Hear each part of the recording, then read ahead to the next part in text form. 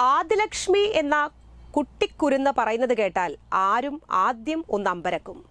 മൂന്ന് വയസ്സ് തികഞ്ഞിട്ട് പോലും ഇല്ലാത്ത അങ്കനവാടിയുടെ പടി കാണാനുള്ള പ്രായം തികയാത്ത ആദിലക്ഷ്മിക്ക് മലയാളം ഇംഗ്ലീഷ് മാസങ്ങളുടെ പേരുകൾ ഏഷ്യയിലെ രാജ്യങ്ങളുടെ പേരുകൾ കേരളത്തിലെ നാൽപ്പത്തിനാല് നദികളുടെ പേരുകൾ കേരളത്തിലെ മന്ത്രിമാരുടെ പേരുകൾ എന്ന് വേണ്ട അത്യാവശ്യം ഒരു പി എസ് സി പരീക്ഷയ്ക്ക് വേണ്ട ജനറൽ നോളജ് ചോദ്യങ്ങളെല്ലാം തന്നെ ഈ കൊച്ചുമിടുക്കി ഈ ചെറുപ്രായത്തിൽ മനഃപ്പാഠമാക്കി കഴിഞ്ഞു.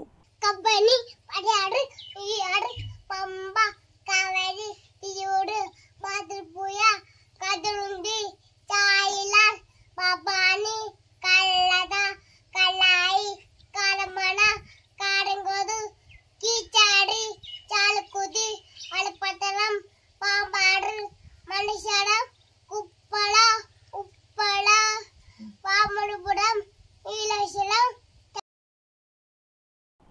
ഒരു സ്വാതന്ത്ര്യദിന പ്രസംഗം നടത്തണോ? അതും ഇംഗ്ലീഷിൽ. അതിനും ആദിലക്ഷ്മി തയ്യാറാണ്.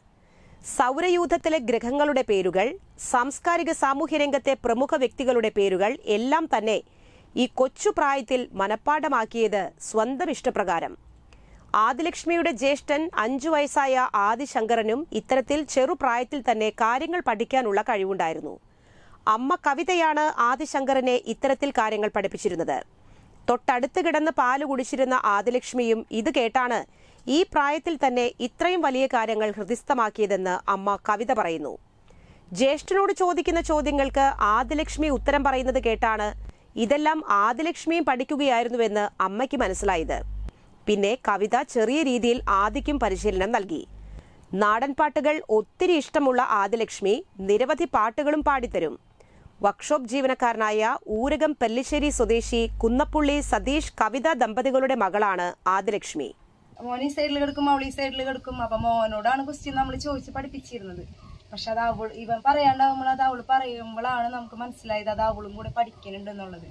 അപ്പൊ പിന്നെ തല്ലൊന്നുമില്ല. അപ്പൊ ഇവനെ പഠിപ്പിക്കുന്നതിനനുസരിച്ച് എന്ന് വെച്ചാൽ മോളെയും പഠിപ്പിക്കും. പക്ഷെ എല്ലാവരും നമ്മുടെ അടുത്ത് ചോദിക്കാറുണ്ട് എന്തിനാ ഇത്ര ചെറുപ്പത്തിലെ ഇങ്ങനെ പഠിപ്പിക്കുന്നത് പക്ഷെ അവളൊരിക്കലും നമ്മൾ ഇങ്ങനെ എന്താ പറയാ അങ്ങനെ കുത്തിക്കയറ്റി പഠിപ്പിക്കാറില്ല. മോനെ പഠിപ്പിക്കുമ്പോഴാണ് അവൾ പറയാറ്.